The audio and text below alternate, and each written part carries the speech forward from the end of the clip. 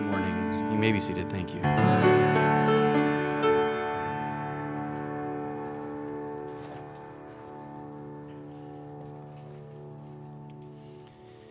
Good morning, and please join me in John chapter 10 for the reading of the text that we'll be studying this morning in our worship time. John chapter 10, and I will begin at verse 22 and we'll work our way through to the end of the chapter. John chapter 10, beginning verse 22.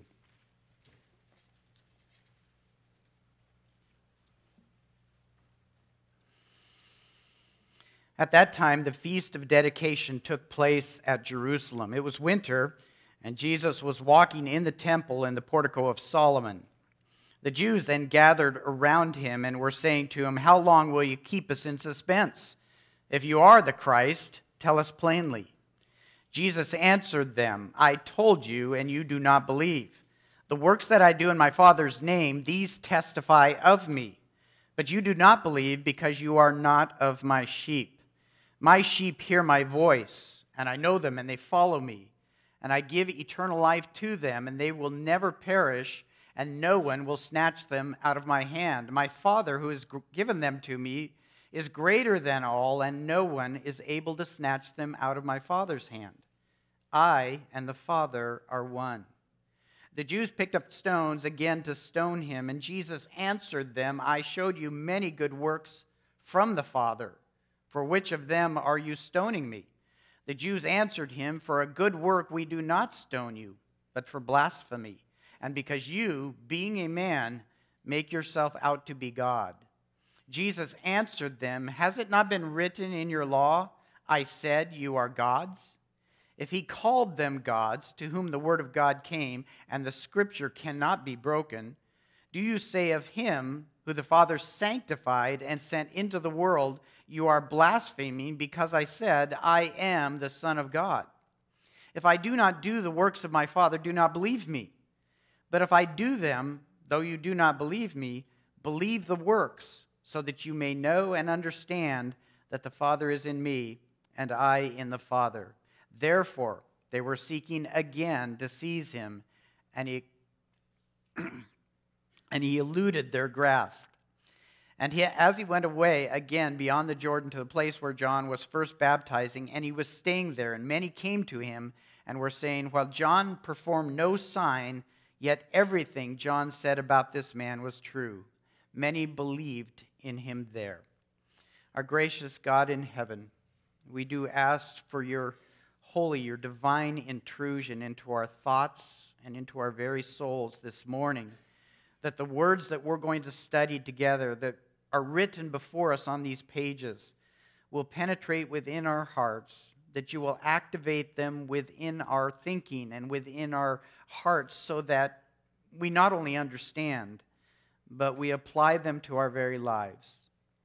Father, it's our hope and desire that because we've gathered in the name of your Son this morning, we shall also be sanctified by him that by your good and capable hand you will work within us that transformation that takes us more and more away from the old man of sin and more and more into the likeness of your Son. And as a result, when we get up and we leave this place and we start a new week, we can enter into our world as the light of Christ that we're called to be. That we're to be the salt of the earth, again, that you have called us to be. Help us to be effective in our, our ministry in presenting Christ to the world around us. And if that is to occur, Father, we depend entirely on your transforming work with us this morning. So would you have our way with our hearts and minds? We pray this in Christ's name. Amen. Well, I think that many of us have seen a, a very dramatic week um, with our election process, even and I have to say, like many of you, I can be astounded by where our nation is going. Um, it is good to be a people, a church that prays for our leaders, the leaders that are ta- about to take office, the leaders that will continue in office, the direction of our country. But sometimes I think all reason is lost to us. We have been for many years struggling at relationships between men and women So, as a nation, we've decided the easy way to help that is just to eliminate the children that those relationships create. And we make it legal to kill those unborn babies. That didn't seem to help. So, in our state, we're going to start younger on our generation now, I guess, and we're going to teach them how to initiate those man and woman relationships, even as young as first and second grade. That's our reasoning. We look at the terrible drug abuse that has been devastating to our culture, and we determine by reason, again, let's simply make the, that drug use now legal. That should help. We look at social injustice. And we figure that the, the help for that is going to be to create chaos in the streets of our cities, to create crime, to steal, to break, to disrupt, and even to kill. And that should help. But it hasn't seemed to help, so we figure, well, perhaps we need to take policemen off the streets. Maybe that will help. It does seem that we've lost all reason. And as I turn our attention to John chapter 10, you have to wonder how these Jewish religious leaders, the Pharisees, reasoned or processed their way through the reality of who Jesus Christ is, because every evidence was clearly stated by God in regard to the deity, the credibility, the integrity of his Son. And this is what is highlighted in our text before us. There is a debate taking place here, not all that much different than debates that are going on among us in this nation. There's a debate here. There are different views being presented. And Jesus here is confronted by these religious rulers who deny what is obvious about the person of the Son of God. In this second half of John chapter 10, beginning with verse 22, John has recorded a separate discourse on the identity of Jesus Christ. Remember last week, the first half of John 10, the second half of John 10. They are separated by a couple months' worth time. And in this second half, the discourse is actually a debate between Jesus Christ and the religious experts of his day who have surrounded him and confronted him in the temple. They demand a clear statement from Jesus. Tell us right out do you claim to be the Messiah of God? And Jesus not only affirmed that claim, but he went further to identify his unity with God the Father, a claim that prompted the Jews to pick up stones and kill him.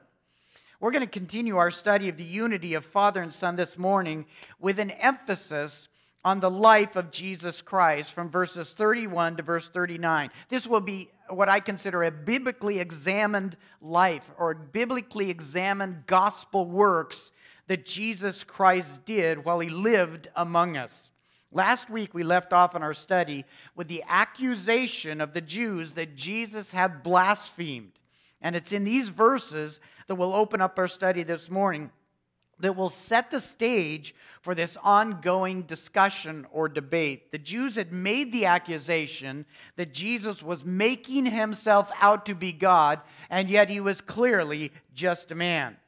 This came as a result of six words from Jesus Christ in verse 30 I and the Father are one. And we're going to pick up here with the response of the Jews and what they objected to in these words. And so, where we start this morning is going to overlap somewhere where we left off last week with verses 31 to verse 33 because it highlights the point of contention that these Jews had against Jesus Christ.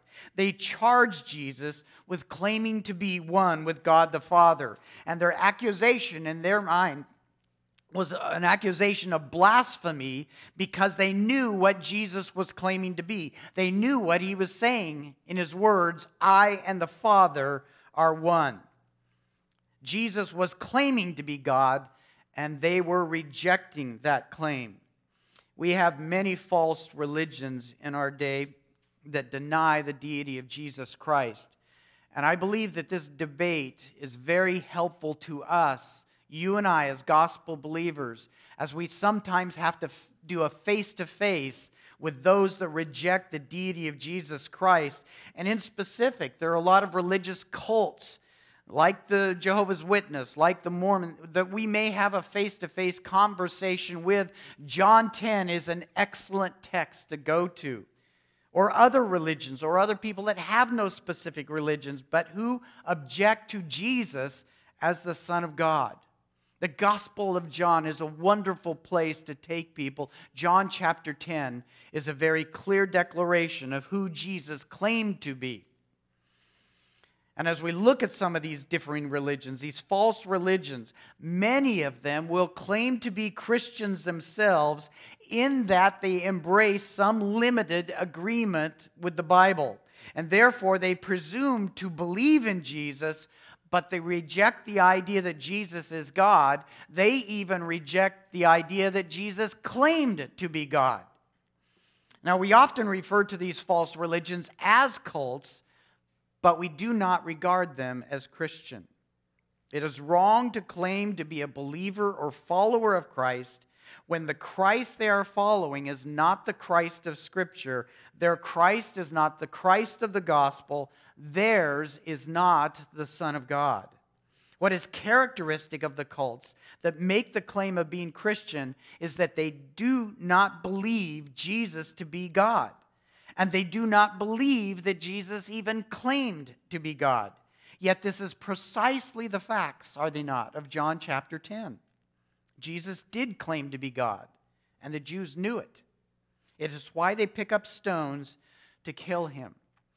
This has really been the emphasis of the Apostle John in writing this gospel book all the way back to chapter 1. In the beginning was the Word. The Word was with God. The Word was God. He opened this narrative to declare that Jesus is the Son of God, God come in flesh, taking on the body of a man. That's laid out in chapter 1. And from that point forward, John continues to show us Jesus, Messiah, Son of God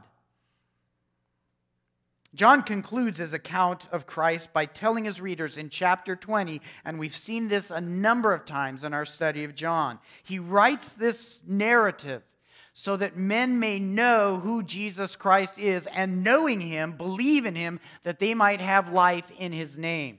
Those who deny that Jesus claimed to be God are simply going to dismiss Jesus' self reference as the Son of God as merely a title of adoption rather than as being the very essence and personality of God. Yet when we go back to John 20 and we look at the verse prior to verse 31, this is the words that John writes. Therefore, many other signs Jesus also performed in the presence of the disciples, which are not written in this book. And then he goes on to say, But I've written what I have here so that you may believe that Jesus is who he claimed to be. And that believing you might have life in his name. In other words, John wanted to draw our attention to the works of Christ, how he lived a gospel life before the eyes of men, because it exposed his divine nature, it revealed his deity. It taught us that the Son of God is God. And when Jesus is called the Son of God in Scripture, as he does in verse 36, it is supported by the divine works, the divine miracles that he performed. And this is the very subject of the passage before us in John 10. The Jews accused Jesus of blasphemy because he made himself out to be God. And according to Leviticus chapter 24, if somebody blasphemed, the Jews were right to pick up stones and stone them for blasphemy. And the very point of verse 31 of John 10 is that Jesus had openly declared himself to be God. Jesus had just repeatedly spoken of his Father in the previous verses, making himself out to be the Father's Son.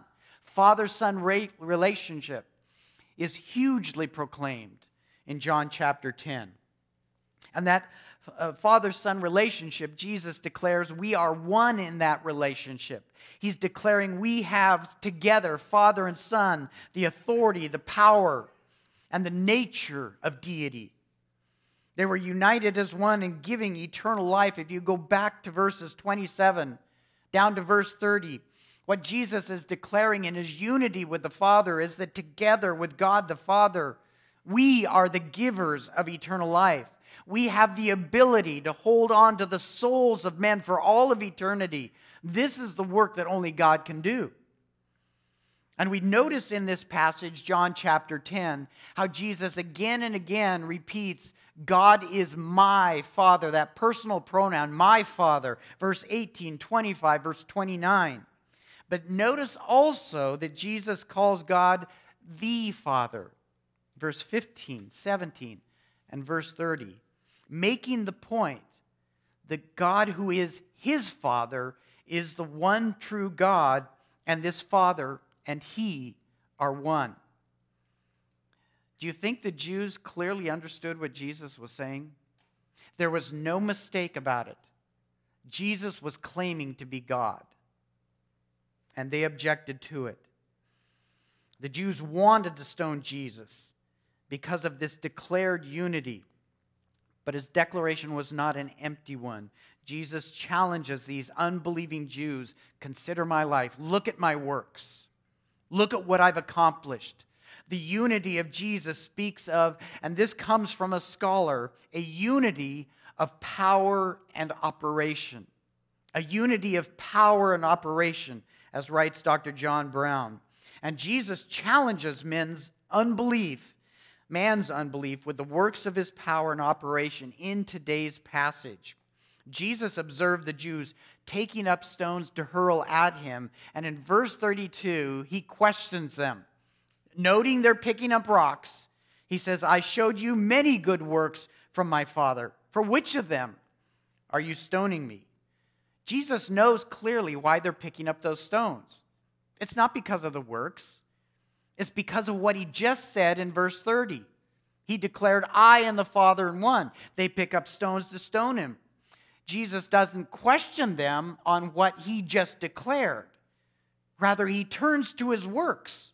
I've showed you many good works from the Father. For which of them are you stoning me?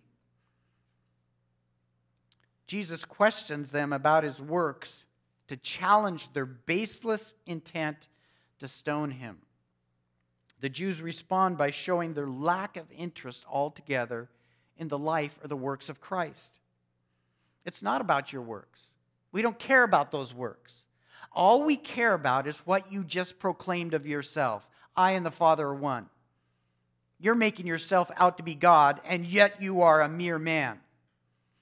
So they dismiss entirely what Jesus said in that question, what he was declaring, and the emphasis of where this discussion is going to take us. Number one, notice he says there are many good works. John only writes a few.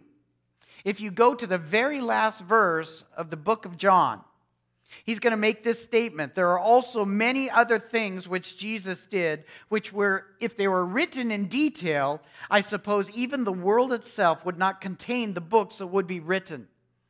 That's describing the life of Christ, the works of Christ. John is saying, and whether this is hyperbole or not, John is saying if we were to detail everything Christ did in his life and his ministry, the world itself would not be able to contain the volumes that would be written of it. Not only were there many works that testified of Jesus Christ, but notice Jesus said there are many good works from the Father. Now, the Jews could hardly debate that the works that Jesus did were good works. Mm, Jesus did the works that were always helpful to human suffering. However, they did object to him doing those works on the Sabbath. And while they may have objected to Jesus claiming his good works were from the Father, they make no attempt to discredit those works. Isn't that interesting? Jesus brings this into the discussion, and all they can say, We don't want to talk about your works. They don't even debate with him that his works were from the Father. Their contention was over his deity. The Jews were only concerned with the claim of Jesus that he and God the Father, the Father, their Father, he was one with God. They clearly understood his meaning, that Jesus had made himself out to be God. Jesus had intended this to be a claim of deity. And the Jews definitely understood it that way. However, what they did in this discussion is that they separated the claim of Christ from the works of Christ.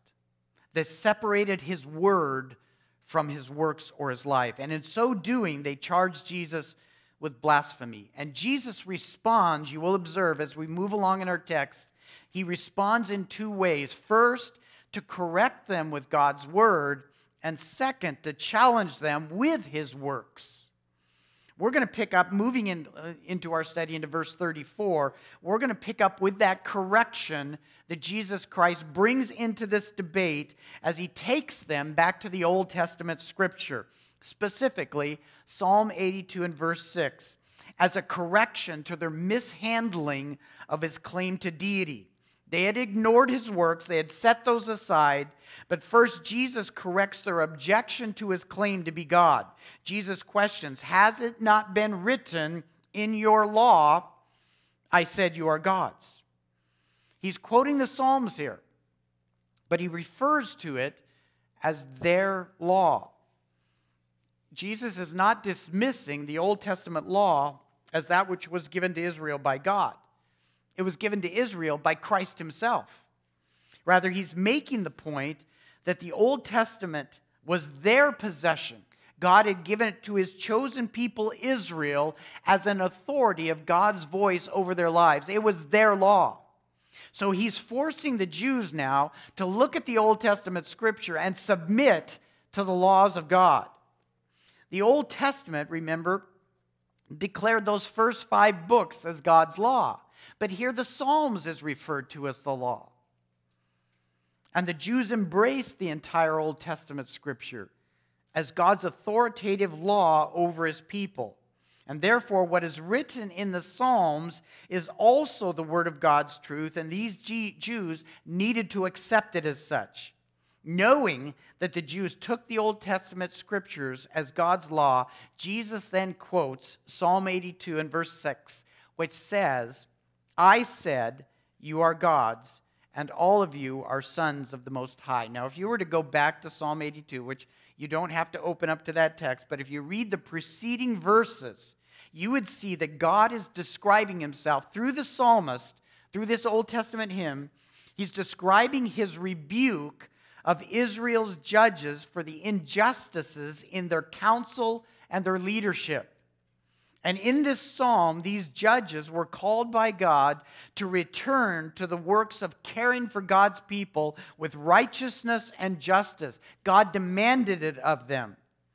And these men were to be representatives of God toward his chosen people. And therefore, as God's representatives, God says they are gods. They are as God to the people of Israel. God has put them in an office of leadership that was to represent the very righteousness of God's laws and the very justices that God wanted executed in his, in his nation. And yet they had failed.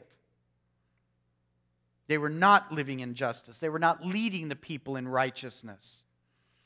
And so God charges you are gods, and all of you are the sons of the Most High, and yet you're desecrating my nation with injustice and unrighteousness. Jesus takes that reference and applies it to the accusation of the Jews.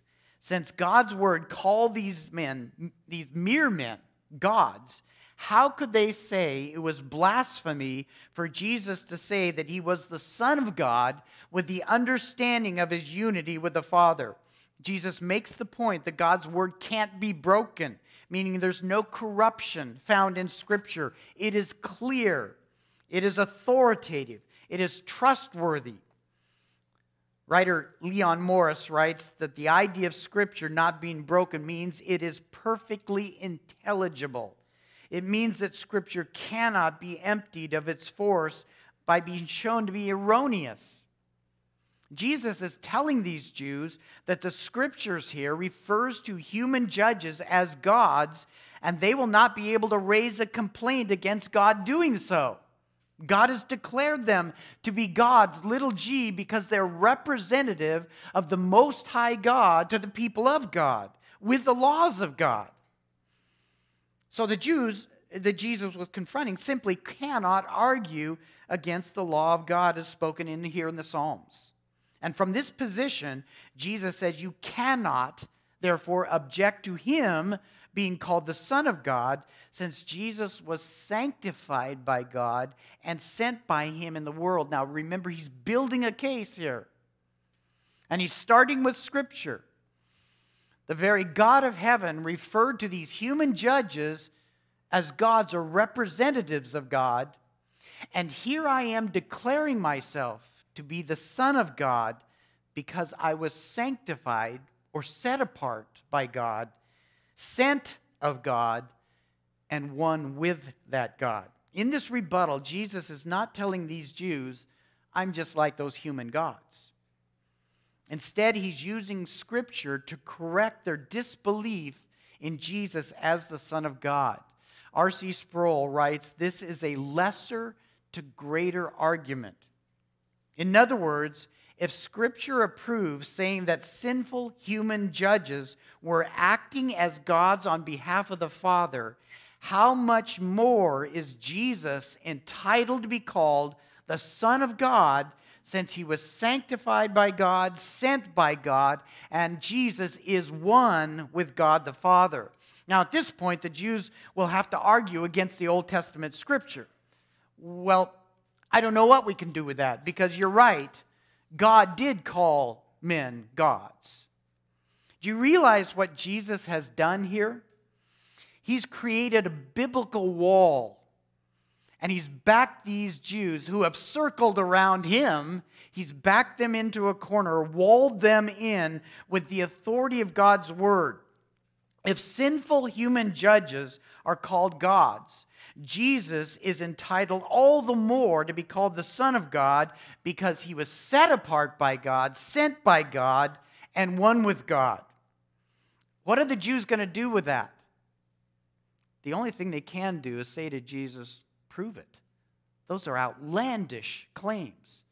Prove it.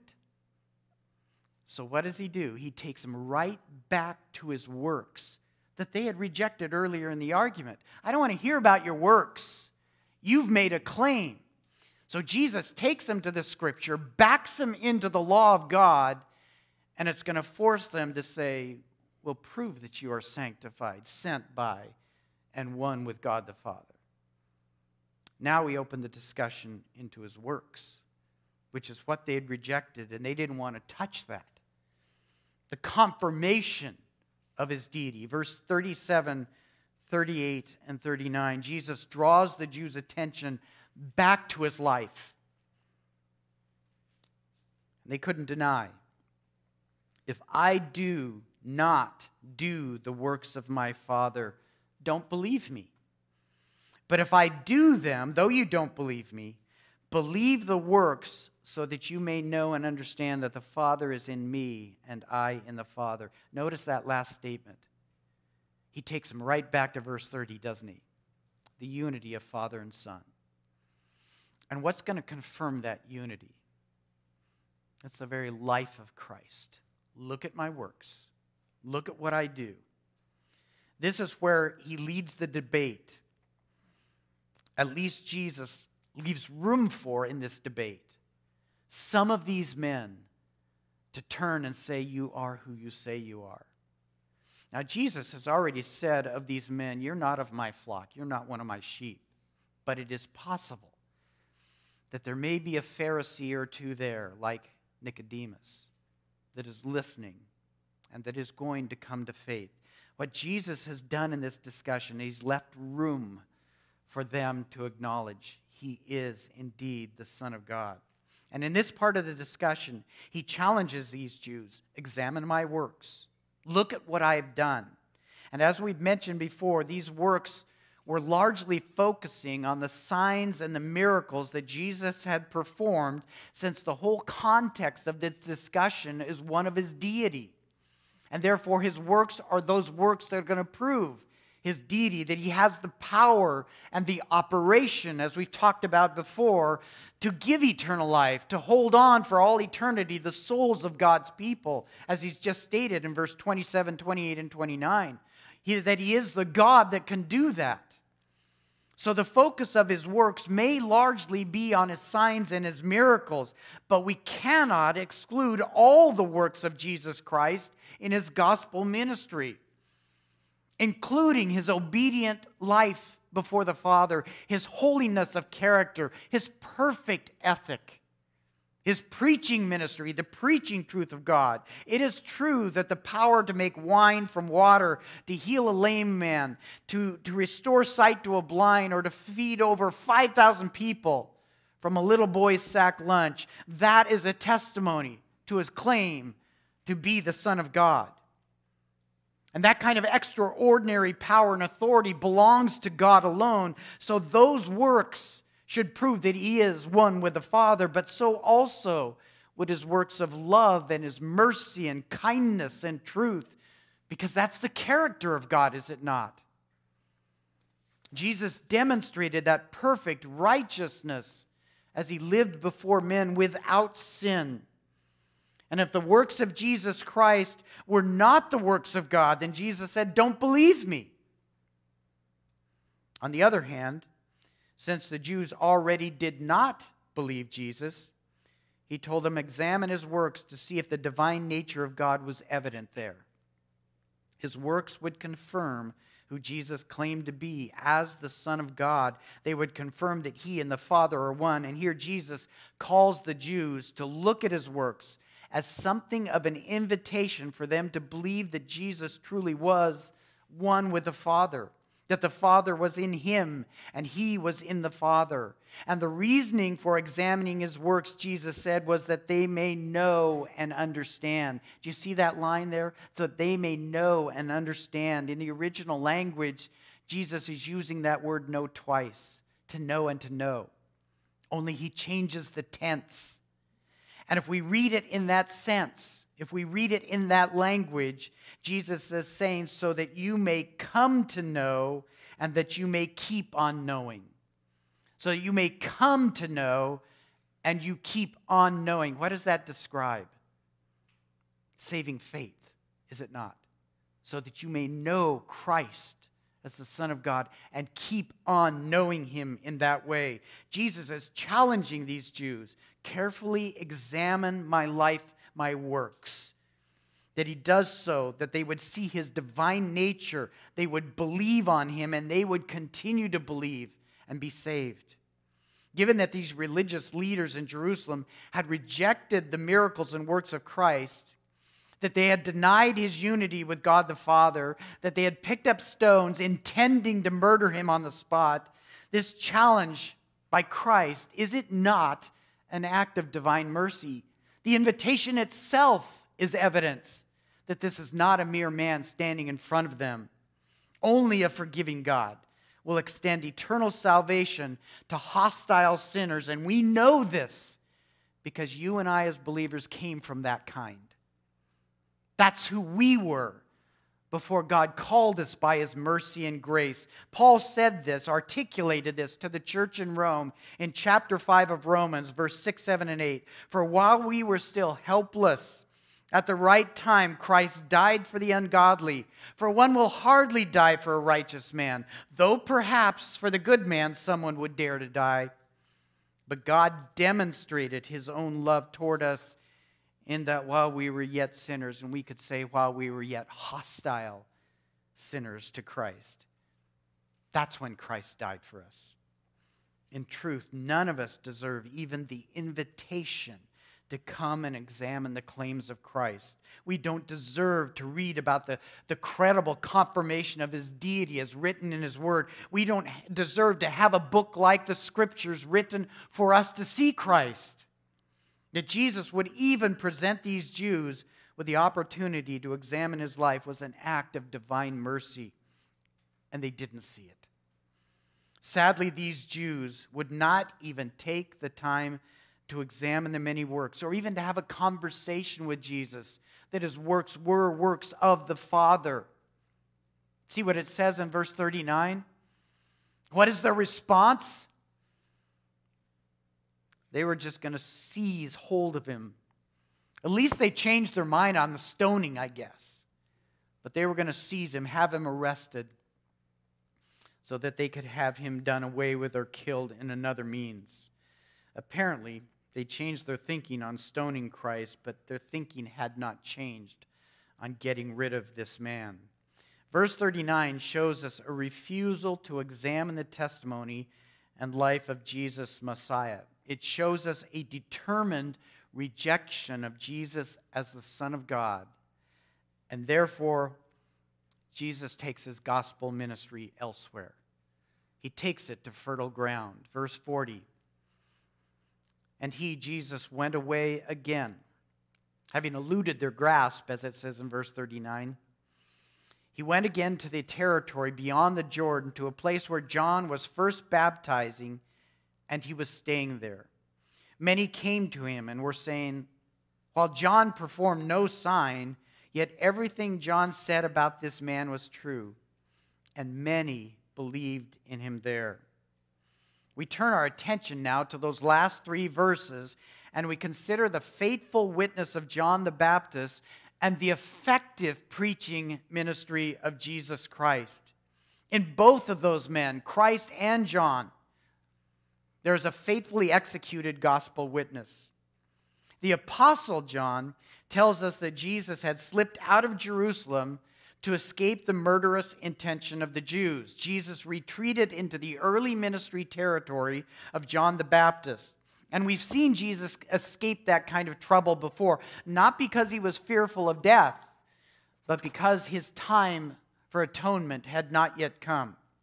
Jesus was on a carefully scripted timetable, and he was committed to be fully obedient to the will of the Father and fulfill his calling as Messiah and Savior.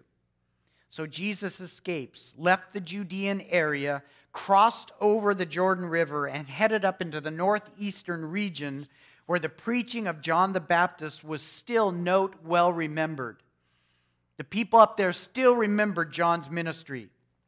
And even up in this territory, it appears that the miracles or the works of Jesus were being talked about, or perhaps he was performing more miracles. And I think the implication of our text is that's what Jesus had done. He'd gone up into that territory where John the Baptist had preached. He also preached, and I believe he did some miracles up there because they note that distinction between Jesus and John the Baptist in verse 41. John didn't do any miracles.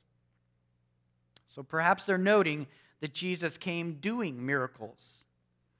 But what John did do is that he preached the truth about Jesus and these people saw Jesus for who he was, unlike those in Judea. Many believed under that preaching ministry. The Apostle John concludes this story by telling us this was an effective ministry. This was a fruitful ministry because people believed in Jesus as Messiah, Son of God. Now, we might think in writing this narrative, and this is where my mind tends to go, that John the Apostle would have taken far more time telling us the details about believers. We only get three verses. We don't see any detailed miracles. We only get the implication that maybe Jesus performed miracles up there and that John didn't. John the Baptist didn't. Why don't we get more material on the believer? And instead, John the Apostle writes in length about the unbelieving Jews in Jerusalem. We don't know anything to, about what happened up there in the north, northeastern territory. Did Jesus perform miracles before these people, before giving the testimony that he is the Son of God? Did he show the evidences of, of his divine nature? Did Jesus preach some very moving sermons? Did he have some debates with people that exposed his divine credentials? Why give us so much from the hostile, unbelieving Pharisees in Jerusalem, where there was little fruit, and yet only three verses were given in this territory where there's much fruit? And I would answer this way unbelief has to be exposed if we're going to know what true faith is. Because saving faith, gospel faith, is unique, is it not? Think of how many today claim in our nation to be Christian or claim to have saving faith. Think of how many today have faith in something but not in Christ, but they think they're okay for eternity, that God is okay with what they believe. How are we going to know? How are we going to distinguish between faith and saving faith? Think about these religious rulers in Jerusalem that surrounded Christ and confronted him. Did they have faith? We would say, yes, they did. They believed in God, they believed in the law, they believed in their own righteousness to keep that law. And therefore, in their faith, they believed they were okay with God. God was okay with them. But did they have gospel faith? Did they have saving faith? Did they believe in the true Messiah, Jesus, Son of God? And we would say, no, they did not. And I have to realize here that men of faith nailed God's Son to a cross. Men of faith did that. We have to know unbelief from saving faith. And John does that for us. He spends a lot of time exposing unbelief because we need to know that. It was man's unbelief that brought the Son of God to Calvary, and it was there that salvation would be accomplished for all who would believe. And it is in this light that I think you and I, also as true believers, gospel believers, if we are here this morning and our faith is securely anchored in the Christ of Scriptures, as believers, we know that we can be subject to weakened faith. Even as believers, we can go too quickly to the ways of the old man. A weakened faith, a feeble faith. It is somewhat strange to us, perhaps, that John's gospel spends so much time on man's unbelief and the stubborn refusal to embrace Jesus as the Son of God. But in a more negative context, I believe there are a few things from our text that would be profitable for us to consider, knowing that even as believers, we can wander back to those ways of unbelief. It is good for us, therefore, to know the details of non faith. So, as we summarize and conclude this morning, consider with me how the sins of jealousy, resentment, and bitterness will cloud our spiritual judgment. They will cloud our spiritual judgment. The Jewish rulers were willingly blind to the perfections of God in His Son. Even the man that was born blind back in chapter 9 confessed that. Since the beginning of time, it has never been heard of anyone that opened the eyes of somebody that is born blind. Even he saw it. And therefore, the Jews willingly ignored what Jesus had done to heal the lame, restore sight to the blind. And it doesn't get any better in chapter 11, does it?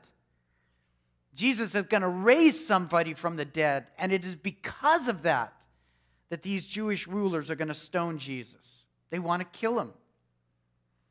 Here was a man who overpowered nature, deformities, disease, demonic world, and even death itself. Yet what kept them from faith in Christ was their own sinful hatred for Jesus.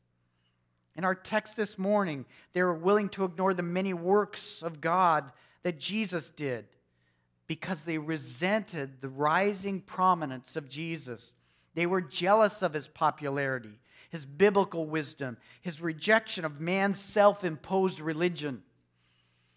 Jesus rejected man's self imposed righteousness. Jealousy and resentment caused these religious men to ignore his obvious divine nature. And friends, though we are believers, made spiritually alive by the Spirit of Christ and indwelt by that Spirit, we know the remnant of sin still remains. And if the sin of resentment and jealousy can cause such blindness towards Christ, imagine what it can do to the spiritual discernment in our lives as well. And we see this all too often in our relationships as church men and women. Jealousies, resentment, bitterness, it will cloud our spiritual judgment and we will act inappropriately towards one another in a way that dishonors Christ. We have to be on guard. It is important that we see these traits, these characteristics, these details of unbelief because we can be prone to go back to that weakened faith. Consider, secondly, how your life confirms your testimony. This is a little self reflection here. In our text, Jesus actually challenged the Jewish leaders to examine his life and to assess his words by the works that he had done. Can we do the same thing? Consider how your life confirms your testimony of faith in Christ.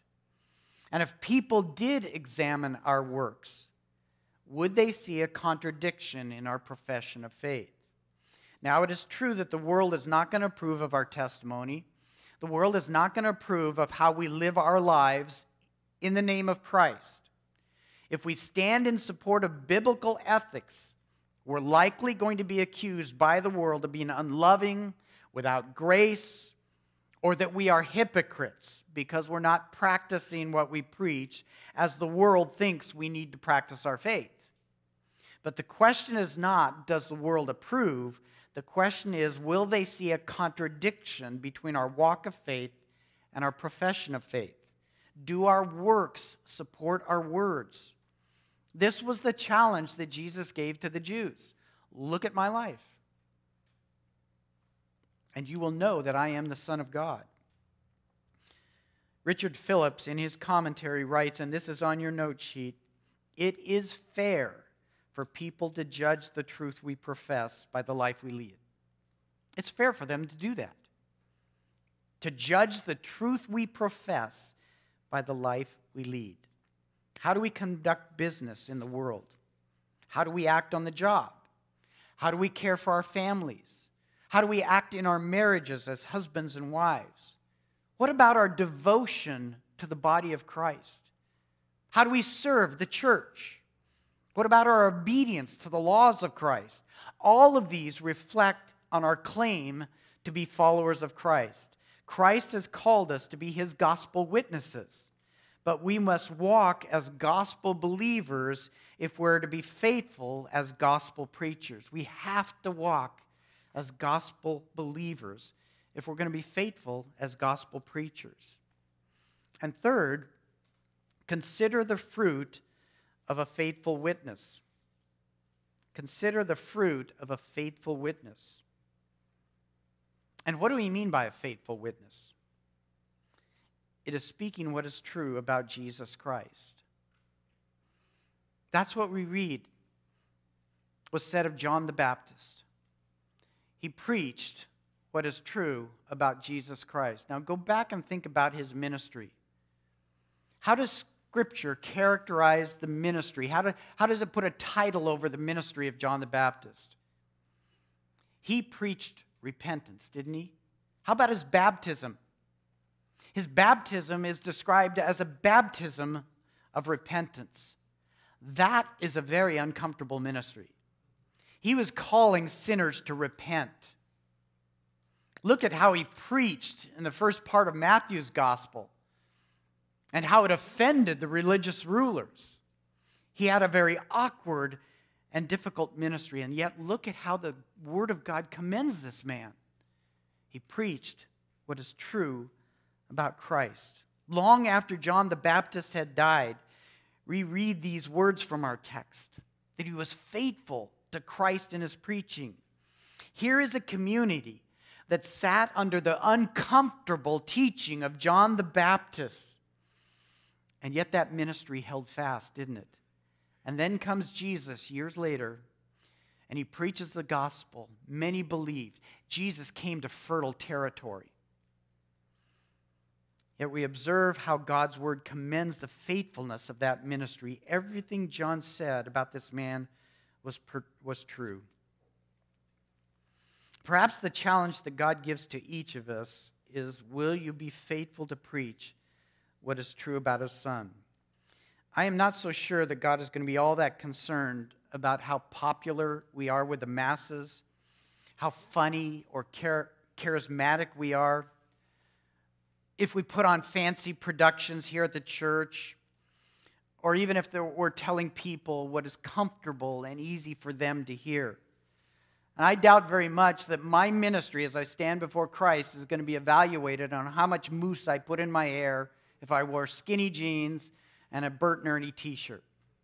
I don't think Jesus really cares about that, or that I wear a tie for that matter. But am I preaching the truth about Christ? Am I declaring what people need to know about the Son of God? We don't generally embrace contemporary methodology here. But I think all of us have been face to face with an unbeliever or even family members who are hostile to Christ. And we can be tempted, can we not, to win them over with methodologies rather than just telling them what they need to know about Jesus, Messiah, Son of God. And it's not always an easy ministry. Sometimes we're calling people to repent, we're confronting sin we're dealing with some hard subjects, but we're bringing the eternal hope into their lives. We have to tell them about Jesus. D.A. Carson wrote, No witness could ask for a better epitaph than what was said here of John the Baptist. All that John said about this man was true. And I suppose that might be a good consideration to have etched on our tombstones when we're done with this life. Here lies a man or a woman that spoke the truth about God's Son. What a great way to end this life. That would be a commendation worth living for. And that's John the Baptist for us here, right on the pages of Scripture.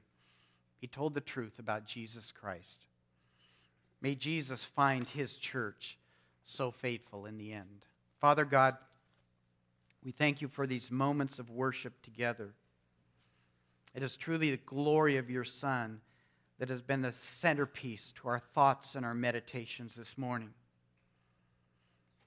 And yet, that can be very convicting to us as children of God, followers of Christ, disciples of Christ. Let our study of your Son reflect upon our lives so that we walk in a way that shows the world Jesus for who he is. Let our message be consistent with our works. Help us, Father, to be uh, uh, Uh, courageous and bold with the preaching of Jesus. There are a lot of fancy accoutrements that the church has been caught up with in these days. Let us focus, Father, on the glory of your Son and who he is. And we'll leave the transforming of the heart to you. And I pray this in Christ's name. Amen.